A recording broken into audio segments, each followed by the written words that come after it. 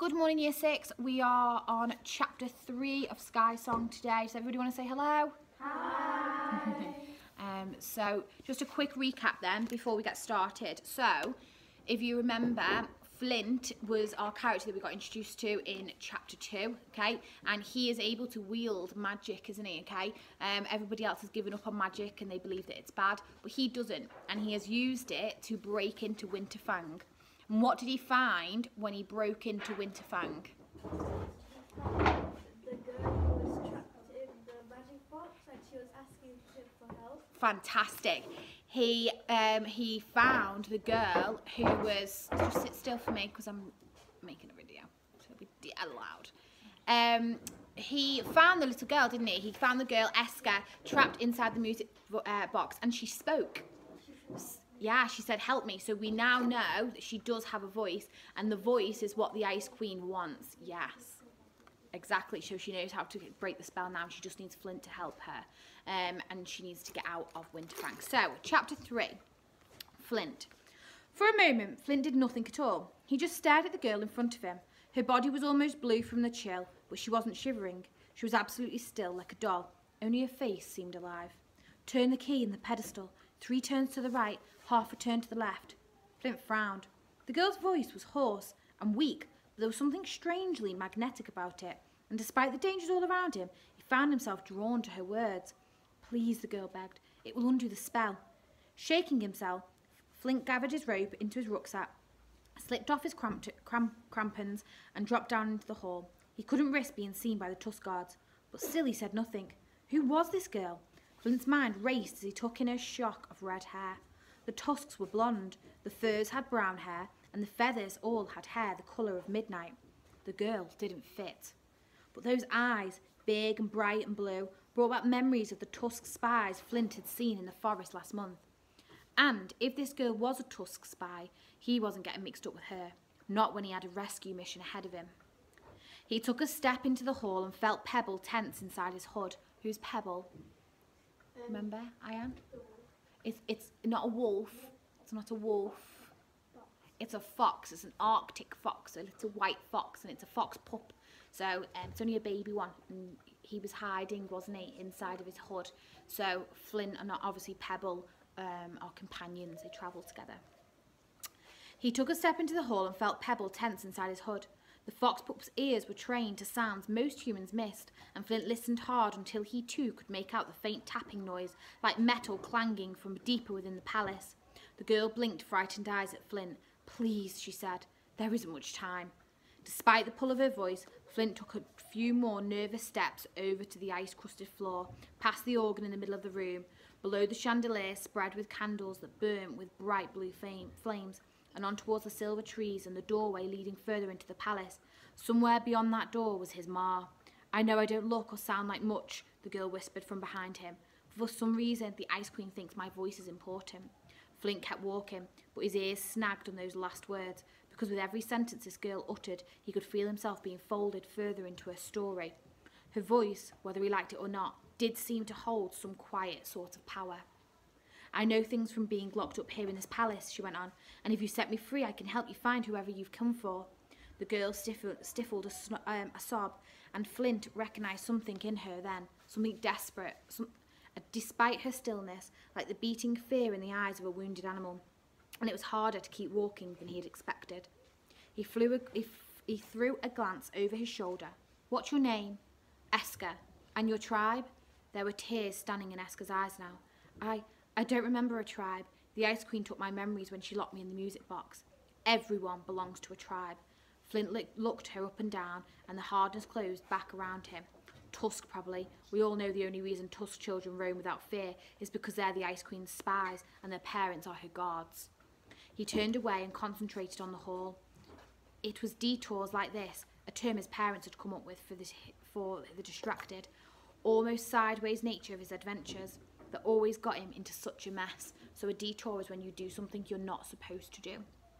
Um, so his he, his mission was to save his ma, and actually he's been detoured already, hasn't he, by finding Eska. The detours were also the reason why Tomkin had carved the words, decide where you're going and go there on the runners of his sled. The trouble was, Flint realised as he tiptoed over the ice, he usually only discovered where he was going halfway through a journey, and when he arrived, he was often somewhere he hadn't intended to be.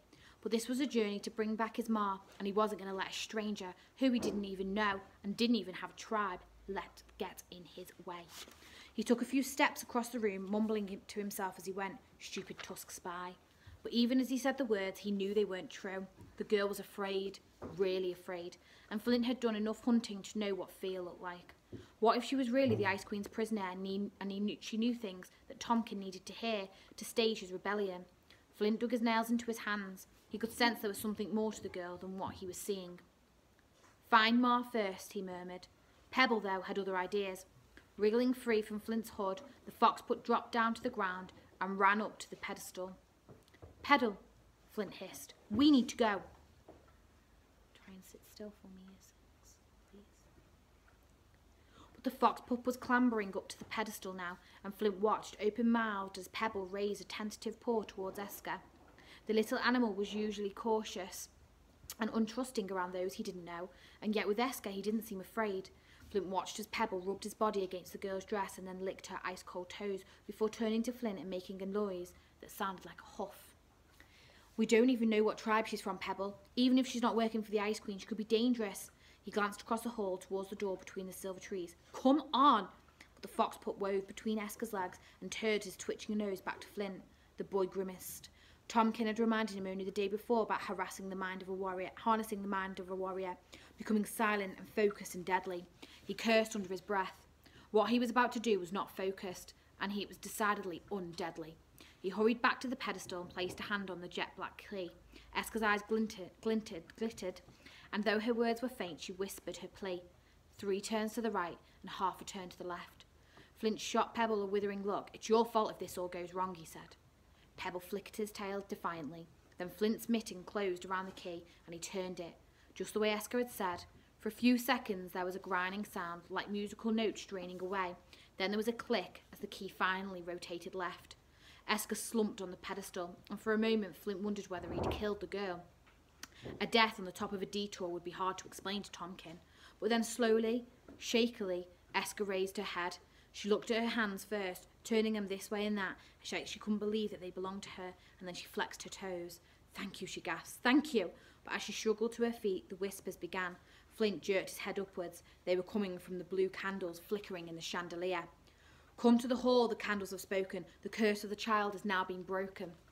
Again and again the flames whispered, and Flint's blood curdled. He scooped Pebble up, Pebble up into his hood and turned to Eska. You didn't tell me the candles were spies. Eska staggered off the pedestal, then fell to her knees, under the strain of using muscles so long locked under a spell. She scrabbled to the wall and hurled herself up. I, I didn't know, she stammered, and then her voice grew louder and she glanced at the archers. We have to leave. Flint's jaw stiffened. I'm here to free my ma, and you're going to show me how I get through this palace to the ice towers like you promised. Chapter 4 Eska shook her head. You don't know the Ice Queen like I do. We won't stand a chance now she knows I'm free. Pebble slid further into Flint's hood, as if he could sense that there was large, he was largely to blame for this, return, this turn of events, while Flint's eyes faltered between the arch he had come through and the door leading into the heart of Winterfang. He stormed across the hall towards the latter, leaving Eska trembling beside the music box. But as Flint approached the doorway, the silver branches closed over the frame, barring his way to the palace.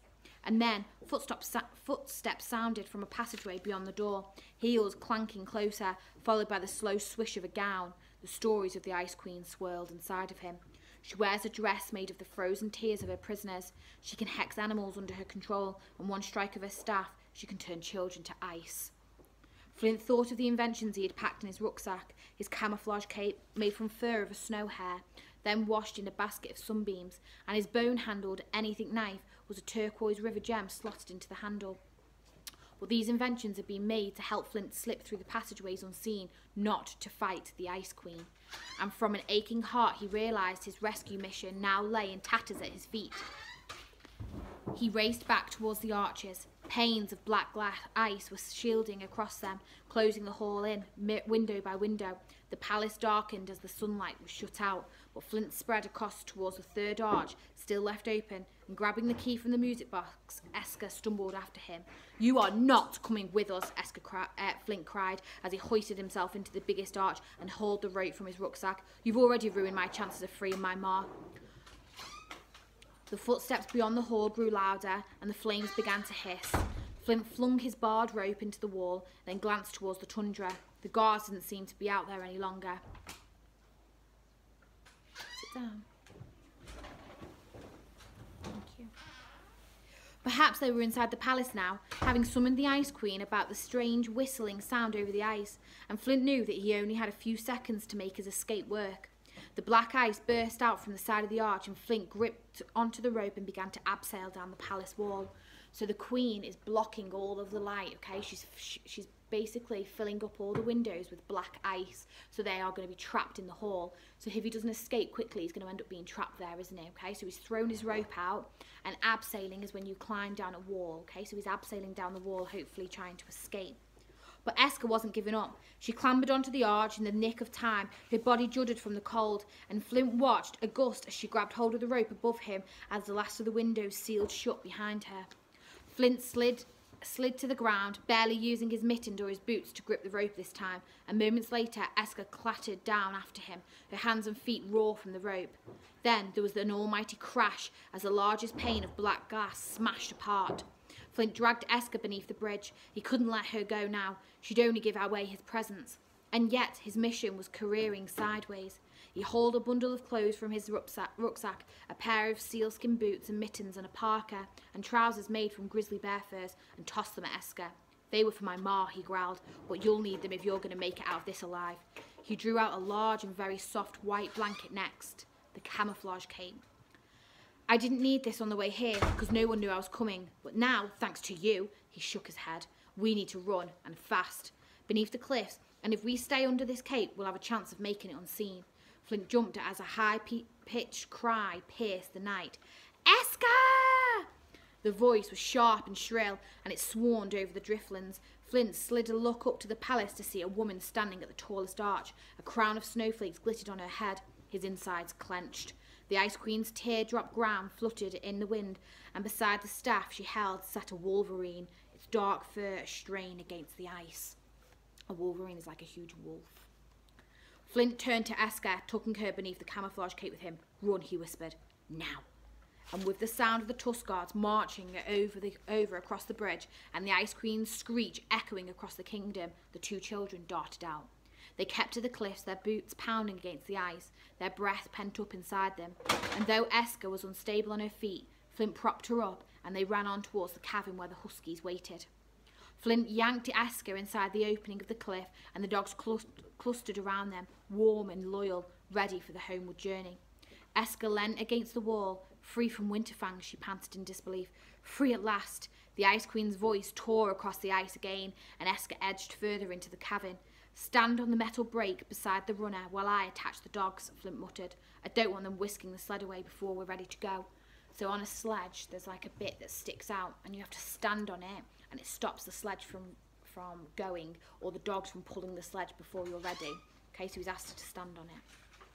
Eska hurried over and pressed down on her boot, but after the Ice Queen's enchantment, her body was no match for the spirited dogs. The brake flung up, and the sled jerked forward, and Eska stumbled over. But Flint was on it in a second, slamming a hand on the side of the sled until it had stopped. Eska picked herself up and wedged a foot down over the metal again as hard as she could. That cape, she whispered, nervously placing her other boot on the brake to stop it, edging forward. We never would have escaped without it. And if it was made of magic, wasn't it? That's what it was. That's the reason we got away. For a second, Flint's shoulders squared with pride. It was the first time anyone had congratulated him on an invention, or even barely vaguely interested in Erkenwald's magic since the, since the Tusk Chief's death. But then he remembered himself, and he scowled. Shut up and listen to me. He stamped his boot over Eska's so that it sank deep into the snow and the sled felt held firm. The cavern widens into a tunnel, and when it comes up onto the tundra, we'll be safe distance away from the palace. The guards might see the huskies, but if we and the sled are tucked under the cape, they'll just look like a pack of wolves running from the distance. And with any luck, we'll make it to Deep Roots without being tailed. Eska nodded. We must be quick, though. We need to get out as far as we can while the night hides us. Eska nodded again. Avoiding Flint's eyes, she whispers, What's deep roots? What's deep roots? Flint scoffed as he untangled the ropes that tied the dogs to his sled. Only the biggest forest in the kingdom, and the home to the legendary fur tribe. Everyone in Erkenwald knows that. Everyone except me, Eska mumbled. A spot of colour had returned to her cheeks, but the clothes she wore swamped her body, and she looked pitifully frail beside them. Will I be safe with your tribe? Flint looked up. You can't just wander in and join our tribe. There are rules, you know. But Eska's voice trailed off. I'll be extra pair. It'll be an extra pair of hands. I could help around the place. I'd be helpful, I promise. It doesn't work like that, Flint said. You have to be one of us from the start. He tossed his rucksack on the fur-lined sled. Once we're in Deep Roots, you're on your own. I don't know who you are, what tribe you're from, or why the Ice Queen thinks your voice is important, but I just missed my chance at freeing my ma because of you. The only reason I'm not leaving you here is because I don't trust you not to blab about my whereabouts to the Ice Queen. Pebble yapped as Flint's hood and because Pebble is playing up. Pebble growled. Flint sighed. And I suppose because you might know things that could help us fight the Ice Queen. Satisfied now, Pebble settled into Flint's hood. Flint shoved Eska off the brake, pushed his own foot down on it, and, glow- and glowed as the ball and and glowed and glowered at the ball of the white fur curled up in his hood. I blame you entirely for this detour, Pebble. You're going to have some serious explaining to do when we see Tomkin. Pebble pretended to snore, and Flint rolled his eyes. But then the wolverine's growl ju- juddered across the sea outside, and he pointed at the sled. Sit down on the furs in front. Flint lifted the, ca- the, the camouflage cape over his shoulders and hold the end of the cape up over a little so that I can see out ahead of us. He paused. But don't expect any con- conversations. It's hard to steer a sled. Be cross and talk all at the same time. Can can I just ask your name? Eska stammered. Flint scowled. Why do you need it? Eska blinked. In case we do decide to have more conversations. it's Flint. There was a pause. And we won't be having any more conversations. Not for a while, at least. Eska nodded meekly. Then Flint lifted his boot from the brake, and as the dog hastened into the tunnel, the wolverine's growl penetrated the silence. Chapter 5 They emerged from the tunnel, and when Eska eventually plucked up the courage to peek out from the cape and glance over her shoulder, she saw the dark, shapes of the tusk guards spreading out over the driftlands in the opposite direction. Relief rinsed through her, and she slipped back beneath the blanket. She felt her pulse unwind.